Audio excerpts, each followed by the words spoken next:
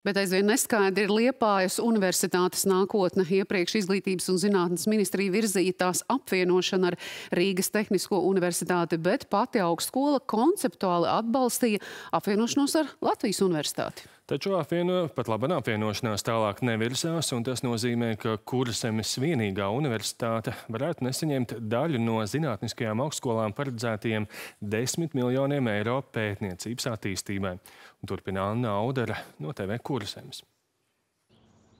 Liepājas universitātē pašlaik mācās 1300 studentu. Augstskola piedāvā 27 studiju programmas, kā piemēram pedagoģija, jaunie mēdī, baltu filoloģija, informācijas tehnoloģijas un citas. Izglītības un zinātnes ministrija norāda, ka šīs augstskolas izglītības līmenis nav izcils, tāpēc bija paredzēta apvienošana ar Rīgas Tehnisko universitāti. Liepājas universitātes universitātē visvājākā joma ir tieši inženierzinātnes un tehnoloģijas, kuras ir ļoti vāji attīstītas. Ņemot vērā Liepājas universitātes tālāko sniegumu, tiks arī piešķirts finansējums.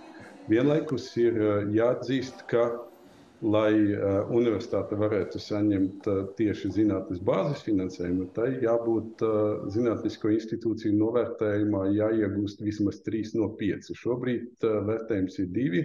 Pretēji ministrijas ieteikumam Liepu senāts un darbinieki bijuši par pievienošanos Latvijas universitātei, kur jau agrāk bijusi veiksmīga sadarbība. Šobrīd tam piekritus arī Liepu padomu un panākt konceptuālu vienošanās. LU to komentē televīzijā atteicās. Liepu šobrīd gatavojot informāciju ministrijai un cer, ka tā nekavēsies ar lēmumu pieņemšanu, jo laika, lai apgūtu Latvijas augstskolām paredzētos līdzekļus pētniecības attīstībai, nesot daudz mūsuprāt, neatkarīgi. Kurš būs šis vadošais partneris, nu, šīs investīcijas ir, ir, ir, ir, ir iezīmētas. Līdz ar to nu, mums jāpanāk vienošanās no, par, par, par detaļām, bet, bet ir skaidrs, ka Liepājas universitāte pievieno vērtību o, ekonomikai. Ja tiktu īstenot sākotnējais scenārijs par integrāciju ar uh, Rīgas Tehnisko universitāti, tad visām četrām universitātēm, visām četrām nevis uh, kādai atsevišķi, bet visām četrām - Liepājas universitātei, Rīgas Stradiņu universitātei, Latvijas universitātei un Rīgas tehniskās,